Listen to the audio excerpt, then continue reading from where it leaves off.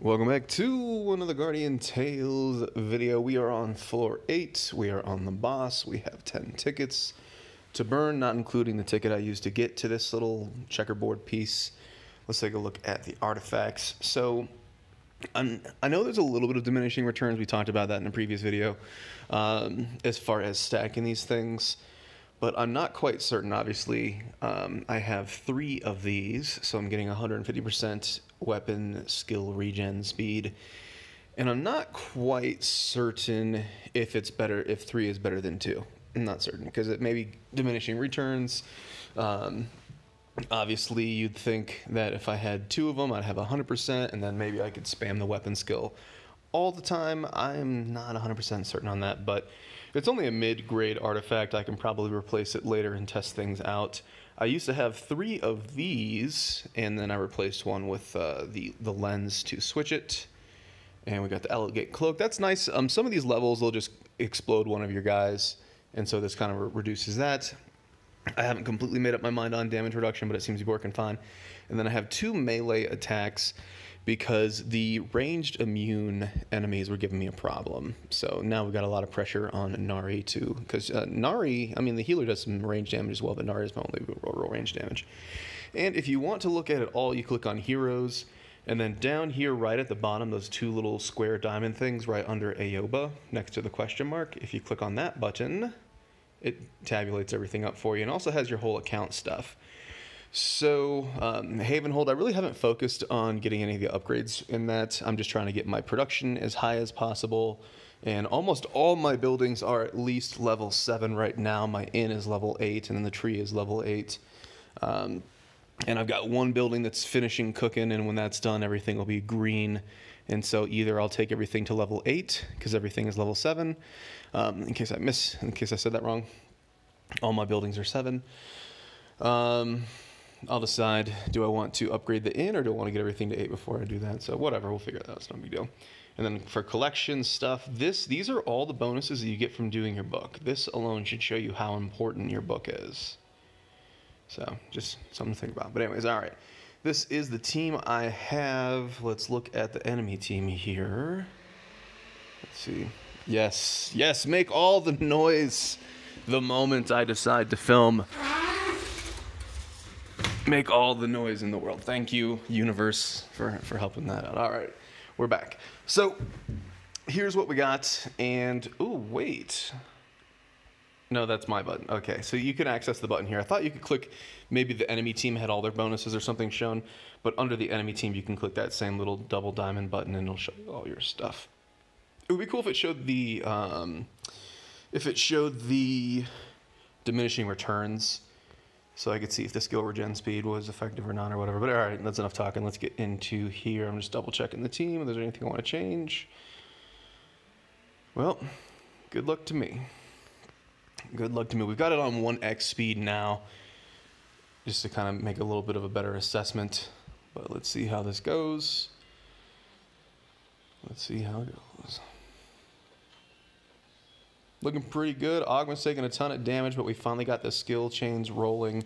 And that's where my team really excels. Um, I might switch one of the skill regen speeds for a um, skill damage. You can get 100% skill damage. Massive healing coming in from Aoba. I hope she can keep it up. Ogma does fall. Oh, and you can just pause. Just like that. So you can just pause and go back to lobby. What? I get it now. I get it now. I don't know if I'm going to make any changes. I'll just put Ogma back one tick and just try to RNG this thing a little bit better.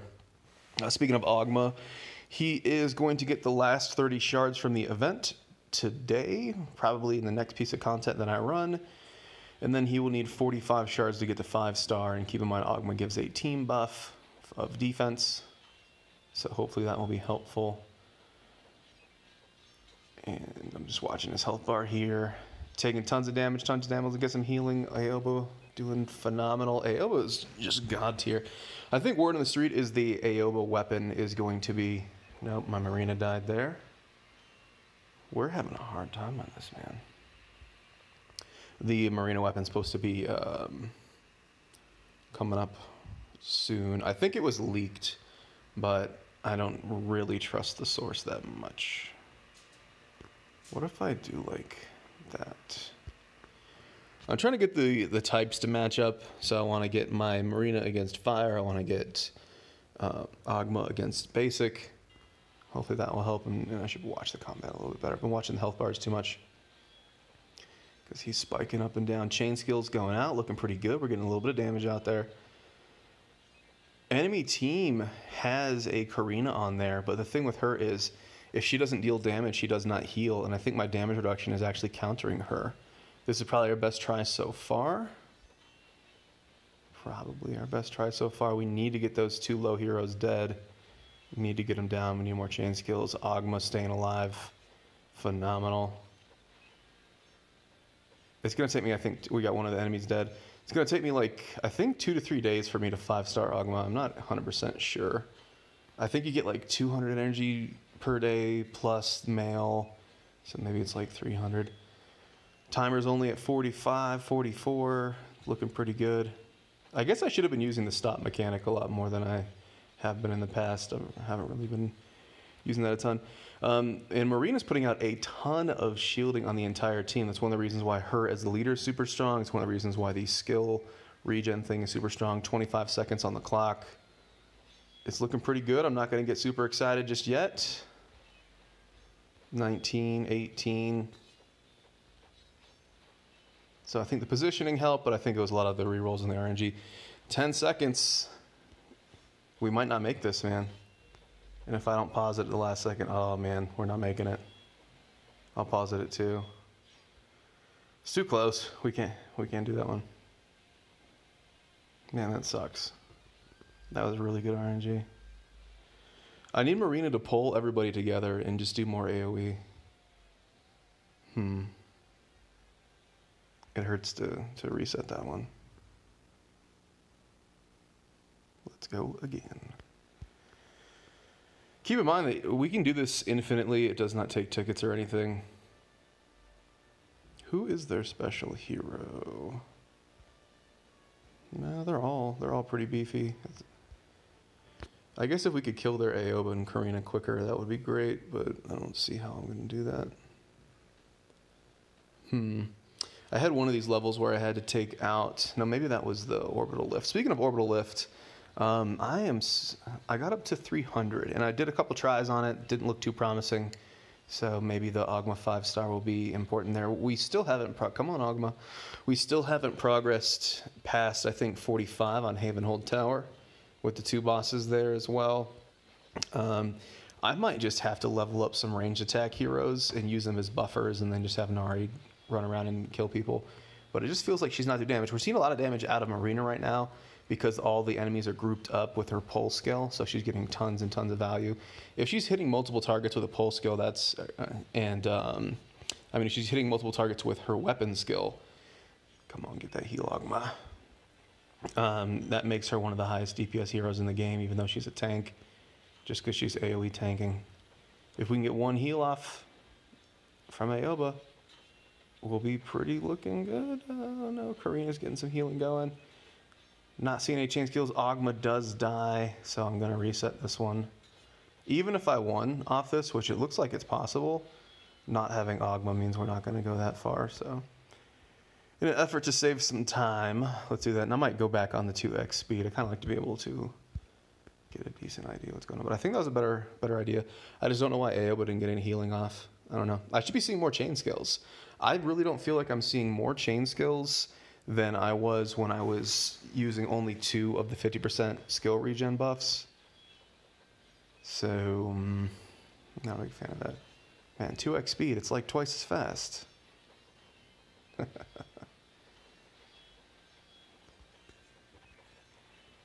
See, now we're seeing more chain skills just because the 2x speed.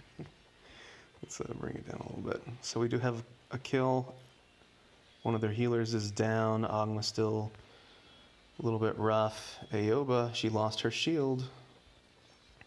And then you get more shielding out of Marina. That was kind of the whole the whole idea with stacking the skill regen. Does a ton of damage and it does a good amount of shielding. 30 seconds on the clock. We need some heals coming out. Come on, Ogma. Survive. Woo. Good heals. 20 seconds on the clock. Do we have enough DPS to do it?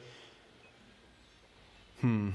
What's cool about the skill regen if you have a Marina is that it's offensive and defensive at the same time. Because Marina puts out shields and she does damage, but our single target damage is quite weak.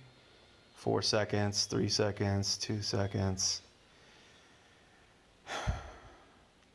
Now, what I could do is I could just let my team run down and all the damage dealt to the enemies is going to stick around. I'll do a couple more runs. But all the damage dealt to the enemies would stick around and then I'd have a second team come in and, and take this guy out. However, if I do that, I won't be able to progress on floor nine and I really want to check that out. And that's kind of the, the hope of this video is to eventually get through this and then check out floor nine and see what's up and then show you guys um, how much currency you're getting on floor nine and things like that. So it might just come down to some RNG. I don't really have any other heroes to put in. And it's it's not like I'm going to be able to five-star Ogma today. And he does seem to be the one taking tons of damage. And we all know how his, uh, his kit works. So five-star Ogma would help. You might be wondering why I'm running this team. Because it's not a high offense team. And it's because it's what I got. Know. I do have 300 mileage, which is nice, but I don't have Bari and I don't have her weapon. We're getting a lot of AoE damage out of Marina here. This is amazing. Ogma, stay alive, boy.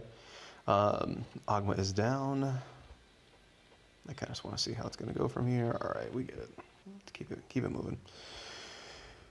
But, yeah, man. Come on, We'll do this one in 2x speed but yeah, so 300 mileage, and I'm just gonna keep doing the 100 gem pulls every day and getting a little bit of energy, and then I'll just see whatever special events or holidays they throw at us. I'm gonna I'm gonna wait for really really good value to to consider anything.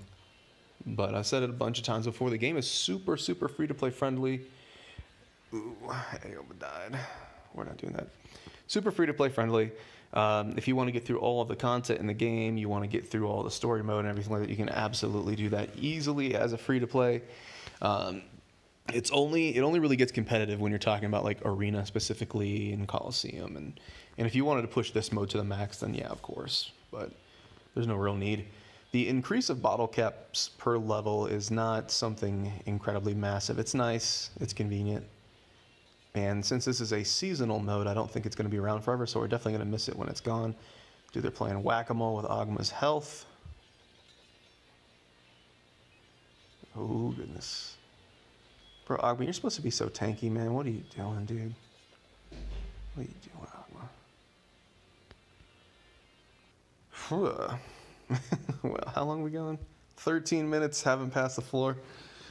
Well, well, well let's let's give it two more runs, and um, if I get another run where I get the the last enemy down super low, I think I'll just let my team get killed, and then I will put in a second string team and try to get the win. But I'll have to wait until I get a good run because I got a lot of these tickets. They're going to end up stacking up, and I'm not going to progress by staying here. I don't think I can put any other heroes in. I don't think putting a Eugene in would help. But you know what? Actually, let's try it. Let's before I, I give up. Let's put a Eugene in for Nari because Eugene gives range damage, melee damage, um, and maybe that melee damage on my melee heroes would be enough to do it. Now we're looking pretty good here. 25 seconds on the clock. Last hero there, our single target damage is a little bit suspect. Plenty of shields, it's a really good run. This could be the one. No, we don't have enough timer. All right, I'll just let the timer go. So my whole team dies. The damage stays on the enemies, and I put in my second string. Now, my second string team could just absolutely blow up, so heads up for that. But I think we have a chance at being okay. I do think next time I come through here, I will have the five-star Ogma, and I think that'll that'll be the difference. let's add her to party. Let's add you to the party. I might take that one out. And I've been working on um, Bianca. I got her and her weapon off 100 gem poles. Her weapon's like level 40 something.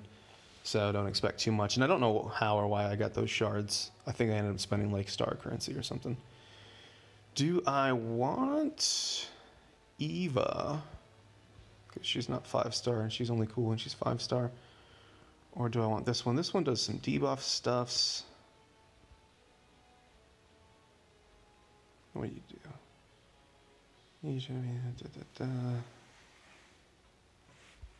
Do I want to start trying her? She got level 20 weapon, man. That's kind of dumb. Yeah, her weapon's too low.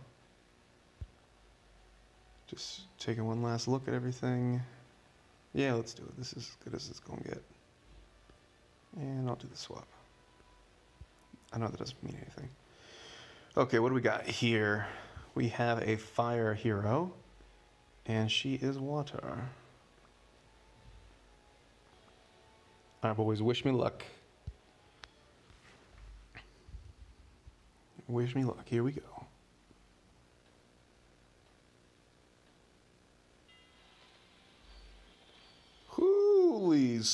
Smokes! what? I should have put in Craig, man. That was so bad. That was so bad. I don't think we did any damage at all. I guess I needed the tank to taunt her, but she's firing Craig's Earth, which is why I didn't want to do that. She'd blow him up. I think that's GG, fellas. That is GG. How unfortunate. Yeah, we don't have anything else. I've got some Earth Boys. This is not going to work, but you know what? Sometimes you gotta do what you gotta do. My um, Tinia has like no weapon, or her weapon's garbage. So I just have to for that. This is for science, man. I don't expect anything anything good out of this.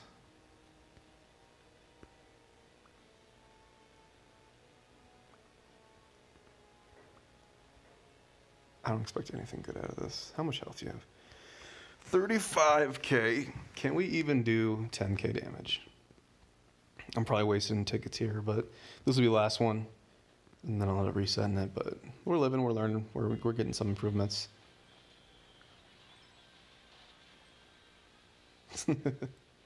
not even, not even. I don't know if we did a thousand damage there.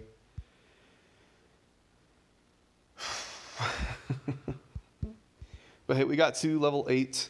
Sad we didn't get to level 9, but you know, you'll see the progress. I just want to see. No, wrong button. we didn't even do a thousand damage. Okay, GG. GG. I have no roster. Other stuff. So I mentioned that we're super close to finishing off the event. I do one more piece of content, I can get to 30. And then as you can see there, we need like 45 more to max him from that. That'll take me, what, three days, two days? I don't know how, how many that is. And then anything else extra we get, I'll start doing the Dreamstones. I never, Dreamstones have never been a, um, a bottleneck for me. I've never been stuck and like, oh, I need more Dreamstones. But if you can see at the end of here, Hero Crystal. So yeah, sure. And then after that, if there's anything left, because there's only five, four days left, I guess I'll pick up these shards back here that don't mean anything to anybody. And then as far as my town, uh, the inn is at eight, the tree is at seven, everything else is at seven, with the exception of the things I'm working on right now. And when the game thing finishes, everything will be green. And there you go. We do have a couple extra heroes. So that's why I'm kind of thinking about getting to level 9 because I'll be able to get four more heroes worth of regen, which probably isn't a ton considering how long it would take to make all that happen. But what else am I going to do? I mean, I could start, I could start pushing on the, the bonuses, I guess. Tower of Strength. Maybe I should really start doing that. Because if I get that up to like level 8 or something, I mean, come on, that's like 5% more damage. That would be a big deal. So yeah, that's probably what I should do. And I've never seen anything that has made me want to spend in here. I mean, this is probably the first time. Because like, that's kind of good. And sometimes I need the mid-grade blues. But usually I don't see anything I want here.